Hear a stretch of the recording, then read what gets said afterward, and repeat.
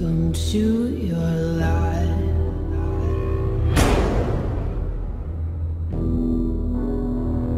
There's no turning back.